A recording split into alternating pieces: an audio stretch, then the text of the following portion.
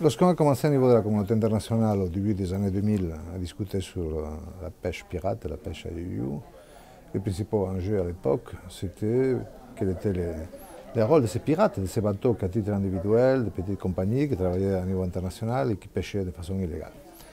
Aujourd'hui, l'évolution est complètement différente. Aujourd'hui, on a une pression beaucoup plus forte du marché, il y a une raréfaction de la ressource, il y a un problème de globalisation des compagnies, il y a un problème de réduction du nombre des opérateurs. Ce type de bateaux euh, à caractère isolé qui faisaient une pêche pirate ont été poursuivis, ont été blacklistés dans les listes des organisations internationales ou de l'Union européenne, c'est-à-dire qu'ils ont la vie très dure pour vendre sur le marché européen ou autres. Ils ont été sanctionnés dans beaucoup de cas. C'était des bateaux aussi anciens, des bateaux qui ont été depuis lors démolis euh, par les propriétaires suite à la pression qu'on a fait avec eux. Aujourd'hui, l'approche c'est beaucoup plus sournoise, c'est beaucoup plus sophistiqué, c'est beaucoup plus industriel. C'est des gros groupes qui travaillent dans un contexte international, qui sont multinationales, qui prennent le développement d'un pays ou d'un autre, mais qui ont peut-être des activités de, commerce, de vente en Europe et ailleurs. Et ça, c'est le grand enjeu de cette globalisation, de l'internationalisation de l'économie de la pêche. C'est le troisième groupe spécial qui est Interpol. Après celui de lutte contre la drogue lutte contre le trafic de personnes, le troisième, c'est la lutte contre la pêche illégale. Il y a un lien direct. Nous avons vu la situation en Thaïlande, dans d'autres pays, où la pêche à EU est accompagnée par des activités de trafic de personnes, d'esclavage, de travail des enfants, etc. Alors, notre marché ne peut pas admettre ce type de produit pour des raisons de conservation, dans le cas de la pêche à EU, pour des raisons éthiques, droits de l'homme et morales, dans le cas du trafic de personnes. Bon, pour les pays, pour éviter d'être sanctionnés, c'est de développer des politiques sectorielles. C'est facile à dire, c'est difficile à mettre en œuvre. Certains pays l'ont fait. Des pays ACP, comme Seychelles, comme Maurice, n'ont pas eu besoin de qu'on arrive pour les aider ou pour qu'on les signale le problème. Ils ont développé leur propre politique, leur propre capacité d'action, et lorsqu'on a fait les évaluations, tout est bien passé, il n'a pas fallu signaler aucun problème. D'autres pays n'ont pas les capacités, c'est lié au niveau du développement, mais c'est aussi lié au niveau de la bonne gouvernance.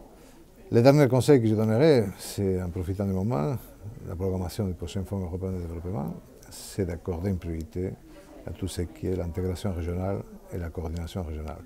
Et si possible, l'allocation des ressources du FED pour la lutte contre la pêche.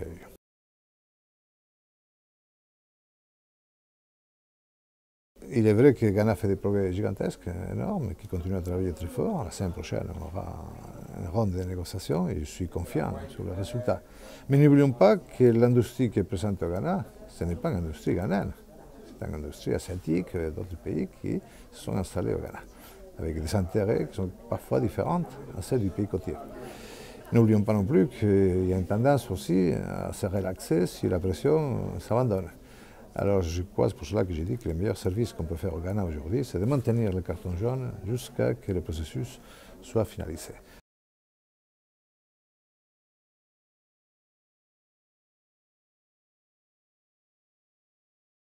Il y a des pays aujourd'hui, pas uniquement ACP, des pays dans lesquels les coûts de la gestion de la ressource pêche, les coûts et les revenus, est supérieur pardon, que les revenus qu'apporte au budget national de l'État et à l'économie de l'État l'activité de la pêche. Et c'est là, ça s'est produit parce qu'une bonne partie de ces pays dépendent hein, des flottes externes et n'ont pas la capacité de pêche au niveau de la pêche industrielle nationale. Et la corruption joint, dans beaucoup de cas, nous avons fait des analyses économiques et vérifié que les bénéfices du secteur pêche pour les pays sont négatifs. Or, c'est très facile.